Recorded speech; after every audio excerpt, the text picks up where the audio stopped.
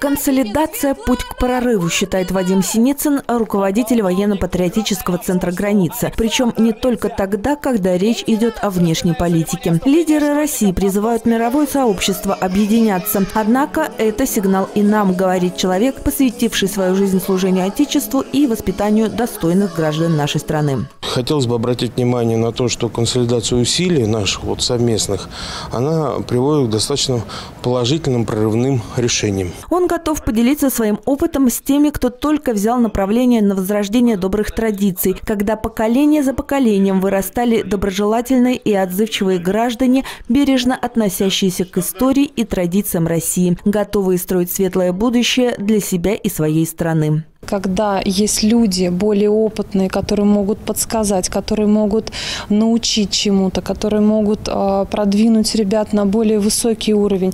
Когда есть такие люди, они рядом, и они помогают, это всегда очень здорово, это всегда мотивирует и э, ребят, и их родителей. Они готовы работать, они готовы сотрудничать, им это очень нравится. Не так давно пятый Ю-класс школа номер 31 принял присягу на верность Отечеству и юнармейскому братству. Всероссийское военно-патриотическое общественное движение «Юнармия» очень быстро набирает обороты, тем более в городском округе Мытищи. Ведь здесь его участники могут не только обратиться за советом к следующим коллегам, но и работать с ними вместе. Один из примеров – проект военно-патриотического центра «Граница. Праздник белых журавлей». Проект уникален в том, что, конечно, он объединяет не только а, взрослых ветеранов, их детей, но и происходит элемент вот передачи э, эстафеты поколений. То есть ну, ветераны, познавшие, так сказать, горечь лишений, побывавшие в